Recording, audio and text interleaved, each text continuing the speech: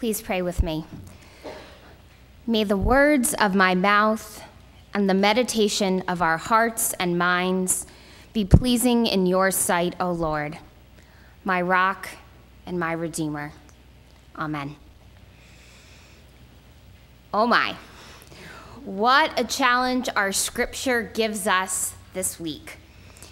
It says, You lack one thing, go, sell what you own, give your money to the poor, then come, follow me.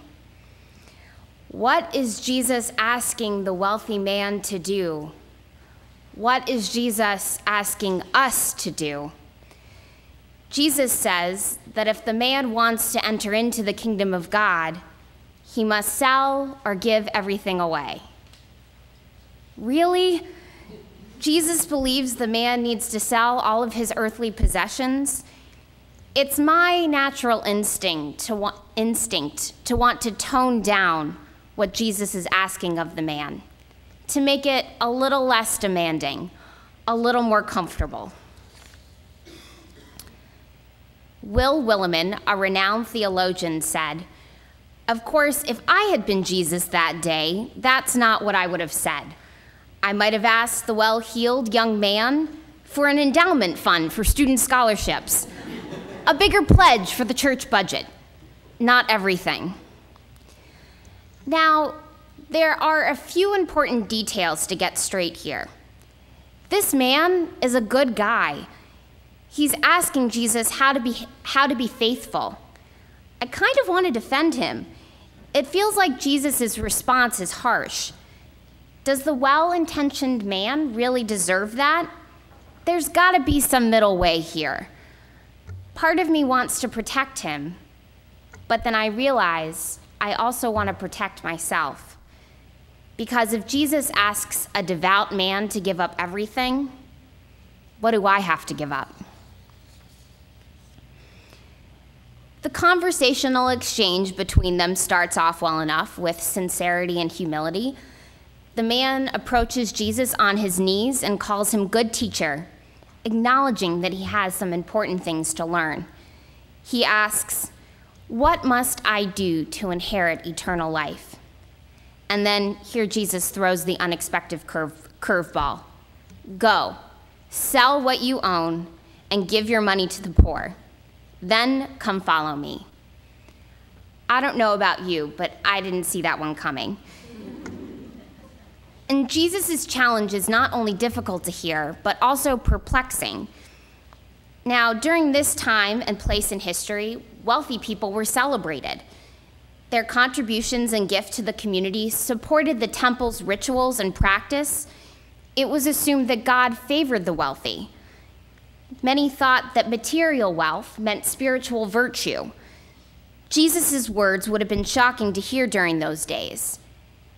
And not only did he ask for the man to give everything up, but he also turned the man's understanding of the world upside down. And Jesus doesn't end there. It's not the only thing, it's not the only scandalous thing that he says in this passage. When the disappointed man leaves, Jesus tells the disciples that it's hard for those with wealth to enter into the kingdom of God. In fact, he says it's easier for a camel to go through the eye of a needle. Now, take a second to think about that. It's easier for a camel to go through the eye of a needle. What an absurd idea. I think Frederick Buechner captures the ridiculousness well. Nelson Rockefeller, attempting to attempting to pass through the night deposit slot of the Chase Manhattan Bank to me would seem a reasonable modern equivalent. Jesus artfully utilizes the absurdity of his statement to emphasize his point that it's impossible to enter into the kingdom of God alone. Jesus' comments here are not easily heard, perhaps especially by us. In light of the challenge that Jesus provides, it's important to remember that Jesus loves this man. The intention of what the man said was not sinful, he didn't mean to offend. As a follower of Jewish law, the man really did sincerely want to know what he had to do. And Jesus is gutsy and loving to name this man's weakness. I love what Will Willimon had to say about this. Jesus spoke an unpleasant word to the rich man because, him, because he loved him. And I fear that I, in the name of love, have made people's lives a little less miserable rather than a lot more redeemed. Jesus uses these sharp words out of love because he wants to help this man see things in a new way.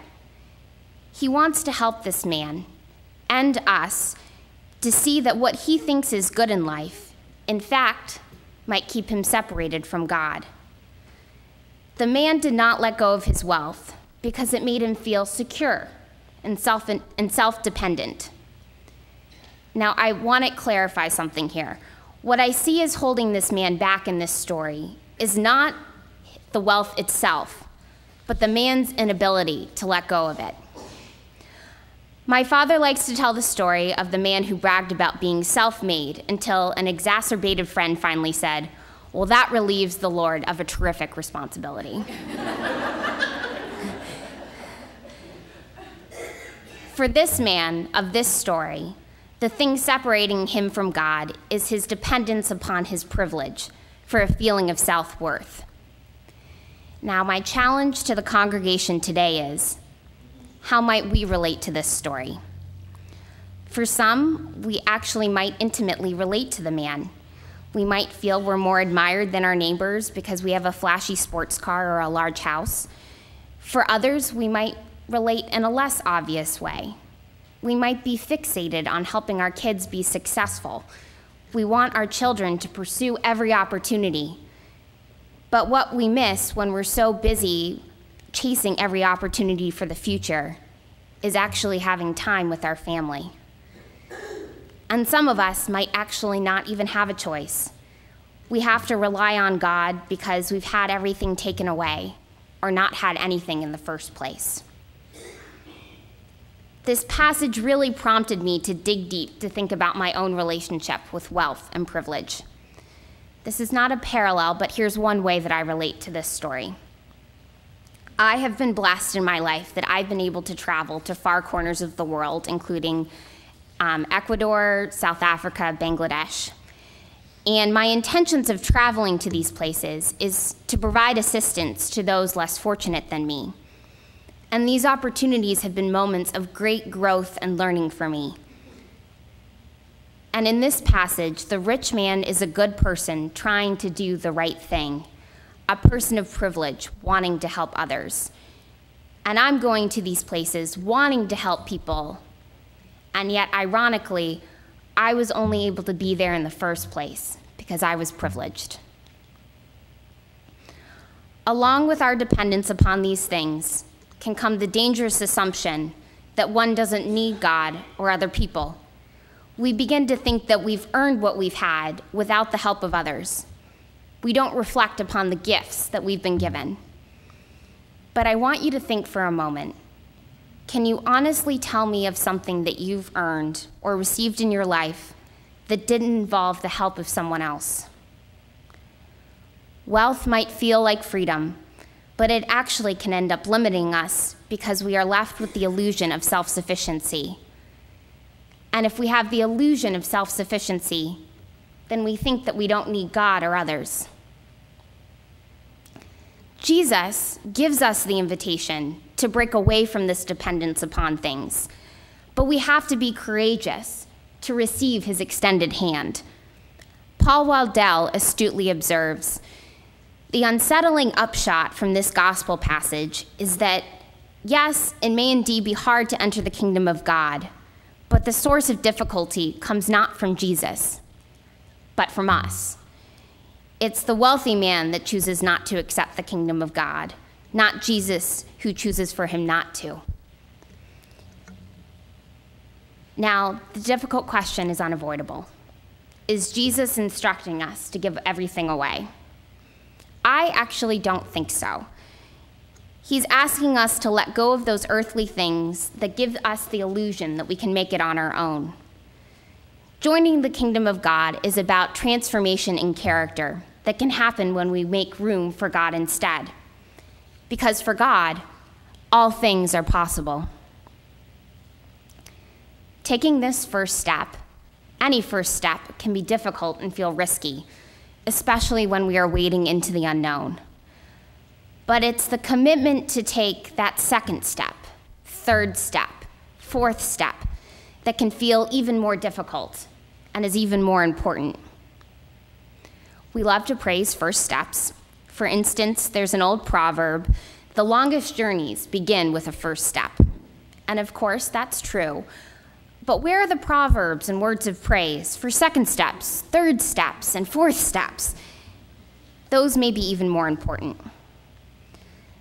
The focus, Jesus says, should not be on the wealth itself, but instead on the change in practice and character that happens within ourselves. It's committing a monthly pledge to the church, or regularly donating to the Yankee Fair, or annually providing offerings for neighbors in need. It's not a one time deal, it's about making the commitment over and over again. It's about waking up every morning and dedicating your day to do God's work. This is really hard. But the good news is that Jesus does not expect us to make this commitment by ourselves. In fact, he actively discourages it. Our transformation is only possible with God or others who help us to recognize God's presence. The kingdom is reached in relationship because transformation is a process and based within an ongoing dialogue of commitment. In response to the man's question about eternal life, Jesus moves the focus outward. He does not directly address the man's question about his own salvation. Instead, Jesus redirects the conversation towards his gracious behavior towards others.